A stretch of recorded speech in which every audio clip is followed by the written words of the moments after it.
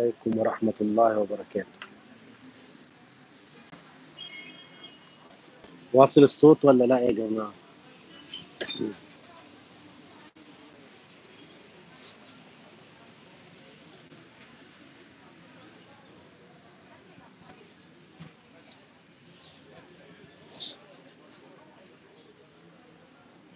سامعني؟ ادوني إشارة. هكمل لكم تاني بقى. فدلوقتي وزيرة الصحة المصرية. ترتكب جريمة في حق الشعب المصري جريمة في حق الدولة المصرية جريمة شنيعة في حق المواطن المصري. وزيرة الصحة المصرية كان عندها علم إن في كورونا موجودة في مصر وإن كورونا منتشرة بشكل شنيع في الدولة المصرية وخبت عن الناس وتعمدت ده مع سبق الإصرار والترصد. وعاملة لي فيلم رايحة الصين رايحة تعمل إيه في الصين؟ رايحة فين يا ضنايا؟ رايحة تقضي على الكورو- على الكورونا؟ أخدت عبد العاطي معاكي ولا إيه؟ عايز أقول لكم كلهم ماشيين على نهج اللواء عبد العاطي نفس الطريقة نفس نفس ال system بالظبط إن الشعب المصري يموت إن الناس تموت لكن مش فارق معاهم دلوقتي يا جماعة الناس اللي أصيبوا بكورونا من فرنسا من أمريكا من آه، كوريا من تايلاند دول كانوا. ومن الصين دول تسعة. في في تسعة بقى عندهم كورونا كانوا سياح في مصر. كانوا الناس بيقضوا ال... ال... الأجازة بتاعتهم ورايحين مصر في أماكن سياحية. أماكن سياحية يعني ما بيحتكوش بال... بالقدر الكافي من الشعب المصري. مثلا في الأماكن الشعبية معنى كده في كورونا جات لهم منين؟ هل هل هم جابوها معاهم ولا خدوها من مصريين؟ إذا هم جابوها معاهم أو خدوها من أنا ما بعملكش الفيديو ده عشان أقول لك تعالى نشتم السيسي على فكرة ولا نشتم خالص. أنا بكلمك دلوقتي في الوضع الصحي للمواطن المصري. المواطن المصري في أزمة حقيقية يا جماعة. يبدو يبدو في مشكلة في الإنترنت أو حاجة. فأنا بقول لك إن مش أنا على فكرة الشائعات خطر مقيت على الشعب المصري وعلى أي بشر. وأنا ضد الشائعات ولا عايز أعمل شائعات. لكن إحنا دلوقتي فعلا في أزمة حقيقية. البلد في أزمة حقيقية. وعلينا بالمكاشفة الشفافية في أي دولة هي اللي بتعجل بان إحنا نعالج الناس من المرض. الإصابات اللي موجودة في الناس اللي خرجوا من مصر بتقول إن المرض منتشر. معنى إنه هيئة الطيران القطري وهيئة الطيران الكويتي ومعنى إن فرنسا ومعنى إن أمريكا ومعنى إن عدد من الدول تعلن إن أي مواطن إن مصر منطقة خطر وإن أي شخص يجي من مصر آه، يتحط في الحجر الصحي لمدة 14 يوم. ولا 30 يوم معناها إن في كارثة حقيقية في مصر. الكارثة الحقيقية تتوجب المكاشفة المكاشفة من السلطة الموجودة من وزارة الصحة من رئيس الجمهورية من مجلس الوزراء من كل شخص مسؤول في الدولة المصرية عليه أن يكاشف الشعب المصري علشان الناس تعمل حسابها عشان الناس تاخد بالها. إلا إذا كنت حضرتك عايز مليون 2 مليون 5 مليون يموتوا من مصريين عشان الحكم يستقر ليك وتحكم لا. ده قصة تانية. لكن إذا إحنا عايزين نكون في دولة آدمية دولة محترمة دولة تدي للمواطن المصري حقه ما يا جماعة لا قدر الله ممكن أنا يجيني كورونا ممكن حضراتكم ممكن أي شخص يعني وهو ربنا سبحانه وتعالى هو اللي بيقدر ممكن إحنا نموت في ثانية من غير كورونا. لكن أنا بكلمك في شفافية بكلمك في حالة صحية بكلمك في وزارة الصحة مصرية يعني المستشفيات ناس فيها بتموت. أه، وحالات الغسيل الكلوي ملوثة. فيروس سي والأمراض اللي بتيجي المصريين تمام. لكن أنت كمان عندك زيادة فيروس عالمي. فقول لي وزاره وزيرة الصحة الهاله زايد ما تافوريش أنت over over over قوي رايحة الصين. الصين من يا أختي انت الصين تعمل بيها إيه يا حاجة. تعملي إيه في الصين يا حاجة؟ المرض عندك منتشر وترتكبي جريمة. أنت لازم تتحاكمي أنت لازم تتحاكمي قدام الرأي العام وتتحاكمي قدام الشعب المصري والرأي العام العالمي. انت على فكرة هتتحاكمي محاكمة دولية. الجريمة اللي ارتكبتها هاله زايد بان إحنا نعرف ان كورونا موجودة في مصر من كندا ومن أمريكا ومن فرنسا ومن تايوان ومن الصين دي جريمة جريمة كبيرة يجب انها تتحاسب عليها تخفي ليه؟ عشان إيه؟ تضربي السياحة المضروبة يعني خايفه عليها مثلا؟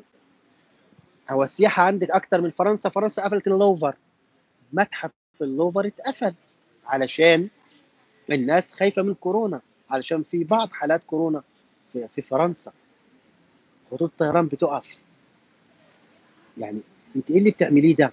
نعرف ان إحنا عندنا كورونا من الكويت ومن قطر ومن فرنسا وأمريكا إيه الجهل اللي انت موجودة فيه ده؟ يعني إيه الجهل اللي انت موجودة فيه ده؟ أنا مستغرب والله ومش عارف الحقيقة يعني يعني مش قادر أدرك إن هاله زي دي وزيرة صحة أنا ما أعرفش مين اللي حط الحمارة دي وزيرة صحة ومش عارف دي وزيرة صحه عن مين وعن إيه أظن على المصريين ياخدوا احتياطاتهم يا جماعة يلبسوا كمامات آه، خلي بالكم من الرذاذ الكورونا بتنتقل. آه، لو مسكت جلاف مسكت كوباية مسكت نظارة يعني لو مسك انت نظارة بتاعت شخص مصاب بكورونا هتصاب بيها. لو مسكت كوباية بتاعت شخص مصاب بكورونا هتصاب بيه. لو مسكت كاس أو فنجان لشخص مصاب بكورونا هتصاب بيه. من فضلك خد احتياطاتك. البس كمامة ابعد عن المناطق المزدحمة مش شرط تنزل كتير على فكرة مش شرط تروح الشغل كتير مش شرط تودي أولادك المدارس. إذا حسيت الحرارة مرتفعة حسيت عندك ال... عندك مشكلة في في حلقك حسيت إن أنت سخن حسيت أنت بتعطس كتير وكده روح فورا لأي مستشفى أو أقرب مستشفى ليك. ما تستخباش يعني ما تستخباش لأن آه، كورونا بالإمكان الشفاء منها. إذا كورونا اكتشفت في الأول أنت تقدر تتعالج ويتم شفائك منها. لكن إذا سكت هتعدي قرايبك وأهلك وزوجتك وأولادك وأخواتك وأحبابك وكل الناس اللي حواليك. فالأفضل إن أنت تروح لأقرب مستشفى وأقرب مكان وتقول لهم أنا حاسس بأعراض كورونا. ويعملوا لك تحليل. هتقعد في الحجر الصحي وقت مش هت... مش هيعمل لك حاجة على فكرة يعني الحجر الصحي ده هتاكل وتشرب وتبقى مفيش حاجة فيه يعني بس.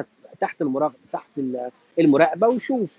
إذا عندك المرض بإمكان على فكرة بإمكان الشفاء من كورونا بسهولة.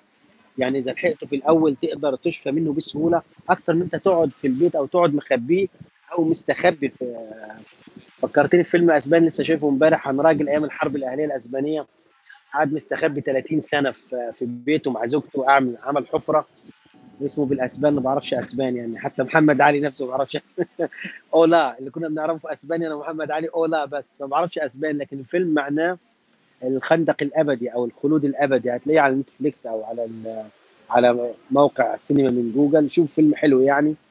اتكلم عن الديمقراطية واحد من الجمهوريين اتحبس آه، هرب كان هيتقتل فدخل تحت الأرض بنى خندق في بيته واستخبى فيه وخلف وقتل واحد وحط عظامه في المدفأ حاجات كده يعني فيلم حلو خلينا في الكورونا.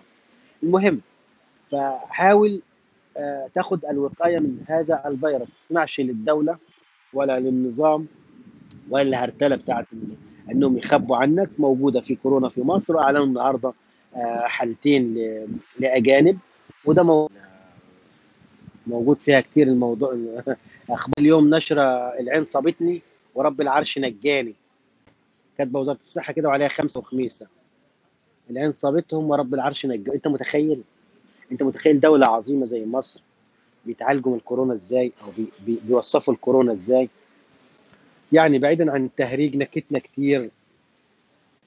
عفوا هرجنا كتير اتكلمنا كتير. آه، قعدنا ننكت على كورونا وشوكولاتة كورونا بس حقيقي يعني في خطر. والخطر ده يجب أن تحتاط منه. سيبك من وزيرة الصحة حمارة. وقطاع صحي للأسف غبي لا يهتم بحياة المواطن المصري اهتم أنت بحياتك واجه ده واجهه ولا تتردد في آه، الذهاب إلى أي مركز صحي أو أي طريقة علاج لو حسيت بالأعراض بتاعة الكورونا. لأن بصراحة الوضع آه، آه، يعني صعب في كل دول العالم. الوضع صعب في كل دول ظهر فيها في أمريكا في الصين في كوريا في قطر في الكويت في, في كل الدول اللي ظهر فيها الكورونا بيبقى الوضع صعب. البورصة في العالمية البورصة نازلة النهارده 30% يعني في كارثة آه، بهذا بسبب هذا الفيروس. حصل قبل كده السارس بتحصل فيروسات كتير في العالم. بنقدر نتعالج منها بنقدر آه، يعني نلاقي الدواء أو العلاج منها. عايز أوريك الناس ماشية في الشارع عادي جدا. يعني تتعامل بص الناس أهي في الشارع ماشية في تركيا هنا في إسطنبول. ناس ماشية في مش أي حاجة الناس موجودة وكل حاجة في كل مكان. يعني فاهم في شوارع العربيات ما فيش حاجة آه، اتعطلت أو أو وقفت يعني. آه، وفي كل الدول العالم اللي بيظهر فيها كده بس هو الاحتياط. يعني أنت تحتاط من الكورونا ومن آه، الأسباب اللي ممكن يسببها لك فيروس الكورونا.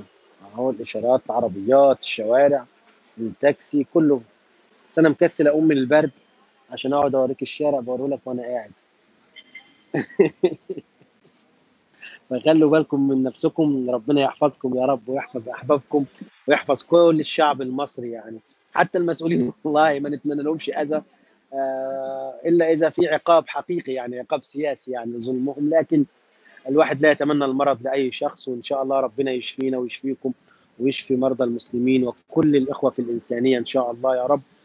وربنا ينجينا من هذا الفيروس اللي هو يعني حكمه كثيره جدا بس أنا مش عالم دين هقول لك الحكم بتاعته بس أنا بقول لك رؤيتي للفيروس ويا ريت هذا زايد لما تيجي من الصين تضربوها بالقلل بالطوب تحدفوها بالإزاز تحدفوها بالكمامات تحجروا عليها وتقعدوها مع عبد العاطي. ده أفضل ليها أفضل حل علشان تنقذنا من الكورونا.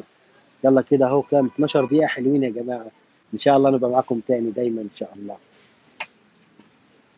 مساء الورد.